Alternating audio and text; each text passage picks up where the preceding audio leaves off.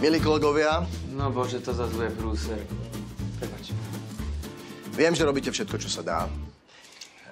Viem, že sa všetci snažíme o to, aby sa z krivého stalo lepšie miesto pre život. A vieme, že to zo sebou prináša veľa obetí. A viem aj to, že mnohí z vás robíte nad svoje limity, ale aby som to skrátil, chcem vám povedať, že tento rok vám nemôžem vyplatiť príplatky. Čo? To nemyslíš vážne? Áno.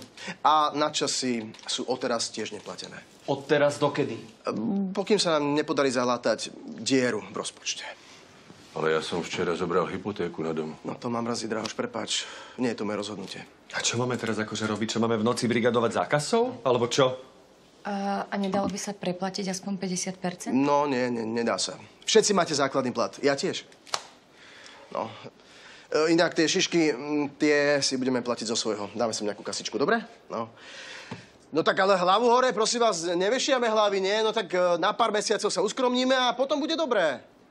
Dobre, ale prečo sa máme uskromniť my? To ty si prekročil rozpočet. Prosím? Kto zničil policajné vybavenie? Čo? Napríklad taký dron, Šaňo. Dobre, ale to som neurobil na schvál. Ruku na srdce, Šimon.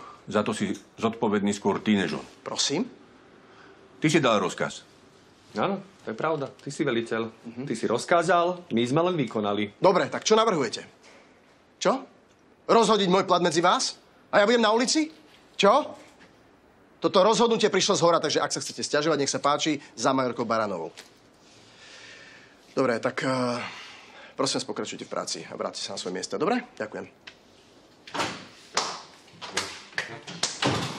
Jemu sa to povie, keď má náčelnícky plat. Teraz budem robiť? Neboj sa, oci, nejako to zvládneme.